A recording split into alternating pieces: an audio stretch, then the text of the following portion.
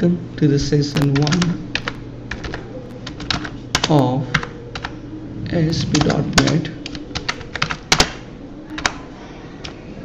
that is how to create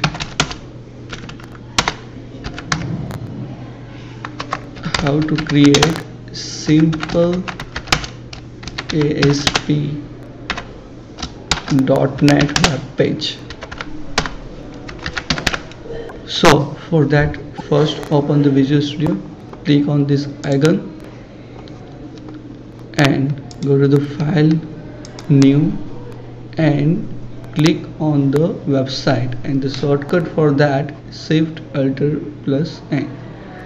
Click on the website select the language Visual C Sharp select the ASP.NET empty website. And here is the path of the website and you can also change the name of the website. One my first web page.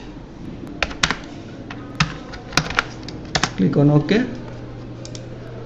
And it will create your first website that is my first web page.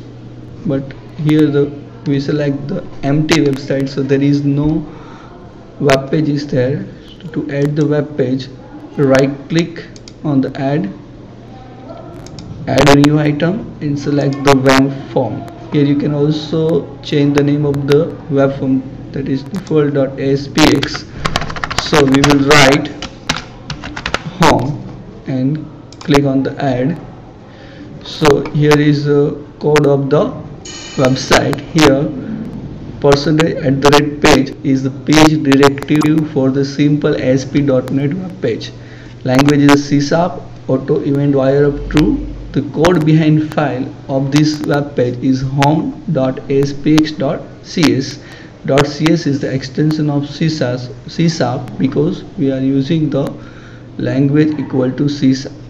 Now doc type HTML and all these codes are from the HTML that we you have already learned in a WT subject and here XMLNS that is XML namespace is the www.w3org which is the standardized.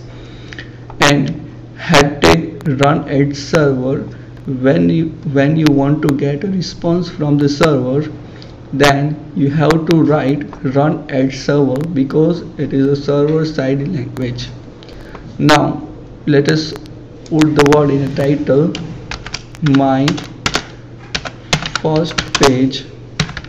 So it will appear in a browser tab.